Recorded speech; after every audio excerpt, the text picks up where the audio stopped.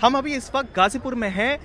दिल्ली के चारों बॉर्डर से आज किसानों की जो रैली है ट्रैक्टर रैली है, वो शुरू होने वाली है और ऐसी एक रैली गाजीपुर से जाने वाली है। और यहाँ देख सकते हैं कि जो तैयारी है वो पूरे ज़ोर शोर से है। यहाँ पे अभी भी ये जो ट्रैक्टर रैली है वो शुरू नहीं हुआ है, ये शुरू होगा। यहाँ पे काफ़ी भारी मात्रा में जो फार्मर्स हैं, जो किसान हैं, वो अपने ट्रैक्टर में बैठे हुए हैं प्रिपेयर कर रहे हैं।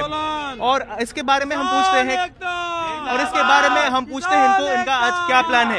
एक मिनट क्या नाम है आपका? विवेक।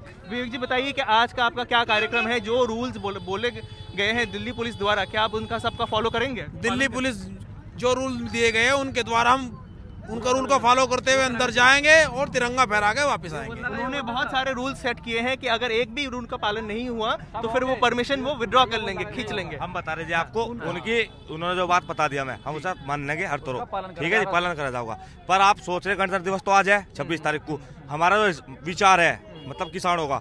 लगभग आज आज पूरा नहीं होना का सत्ताईस अट्ठाईस लोग का लगभग जाके जब पूरा होगा क्योंकि भीड़ इतनी लंबी है।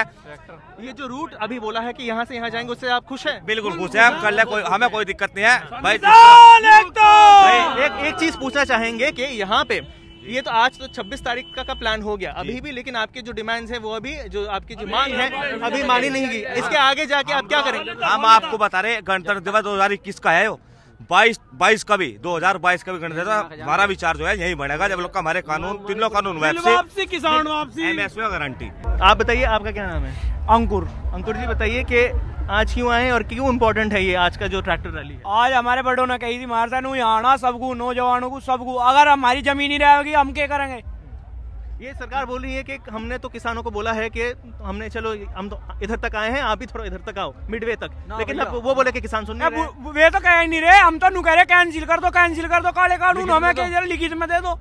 हमें क्या ज़रूरत है? हम हम ही नहीं कह रहे तुम हमारे दो हो या हम तारे दो हमें तुम मना कर दो बिल्कुल हमें नहीं करवाना नु। इसमें समझौता के करना नू?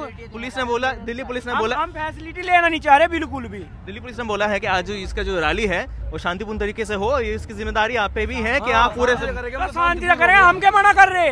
हमने अब लोग कुछ नहीं करा जो पे करते हैं वो तो अब लोग कर देते झंडा आज के बाद अच्छा ठीक है आप लोग अभी सब स्कूल कॉलेज में पढ़ते हो सब ठीक है यहाँ पे आप सबके स्कूल कॉलेज अभी रेडी को बढ़ाई हैं। अगर अगर अगर फॉर अगर ये आज भी सोचो इसके बाद भी वो जो का, कानून है वो वापस नहीं लेते हैं लिखित में भी नहीं देते हैं। आगे जाके क्या करोगे आप लोग? पढ़ाई भी है ना? पढ़ाई तो रुक जाएगी आपकी। पढ़ाई के टाइम पे पेपर देने चले जाएँगे यहीं पढ़ लेगा अपना किताब लगा अच्छा। कौन सी आप बता नहीं जाओगे इसके बाद क्या करोगे? आज चलो आज तो हो गया। इसके बाद आज के बाद क्या रणनीति है? यही रहेंगे इतना हमारी मांग पूरी नहीं करा इतना यहीं रहेंगे यहीं लौटेंगे यहीं रहेंगे यहीं खाऊँगे। चलिए ठीक है तो ये थे कुछ युवा जो बोल रहे हैं कि जब तक इनकी मांगे पूरी नहीं होती है वो जाएँगे नहीं। काफ़ी लोग स्कूल कॉलेज में भी है और ये बोल रहे हैं कि सिर्फ़ पढ़ाई की बात नहीं है लेकिन इनकी जो भविष्य है इनकी फैमिली की जो लाइवलीहुड है उसके बारे में है। तो हमारा गाँव है। प्रधान